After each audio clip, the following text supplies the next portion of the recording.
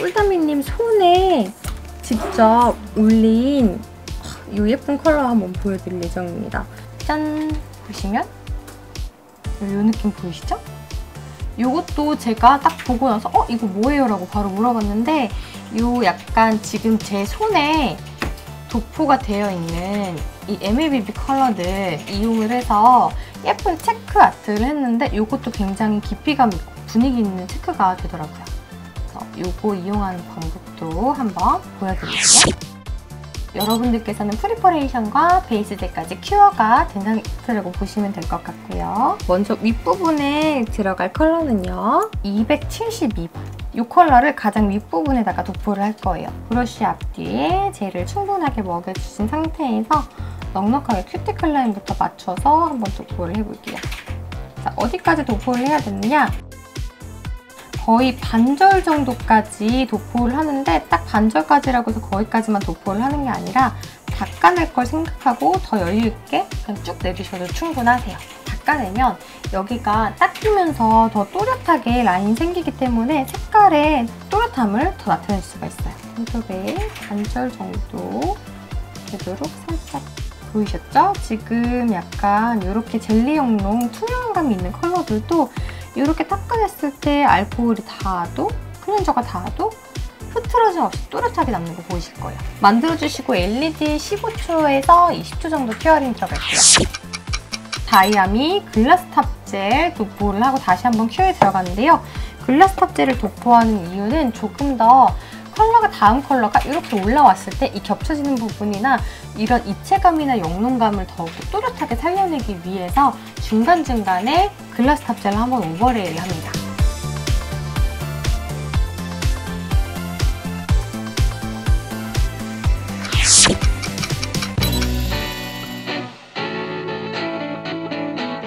아트를 보시면 세로로 두 컬러 정도가 들어가 있어요. 근데 하나는 조금 더 면적이 넓고 하나는 조금 더 좁죠.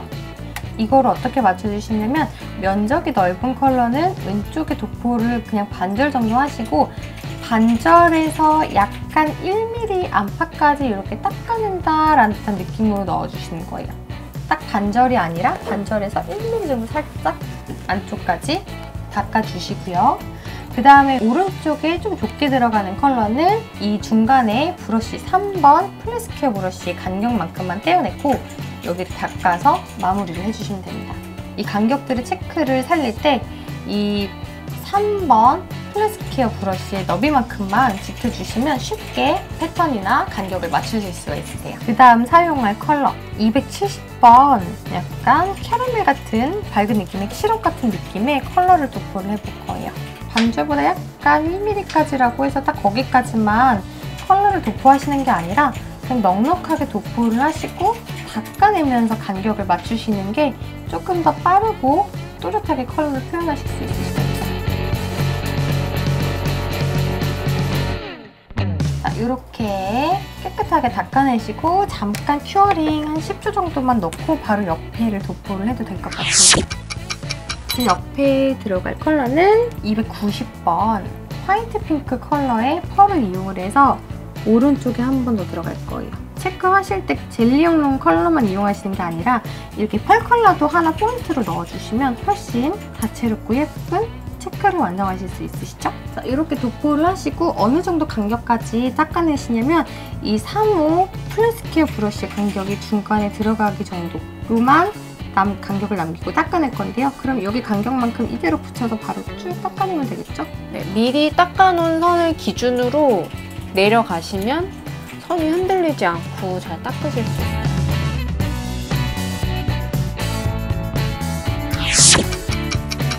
glass top을 도포하고 curing 원래 30초 정도 해야 되지만 15초 정도만 하고 바로 꺼내볼게요.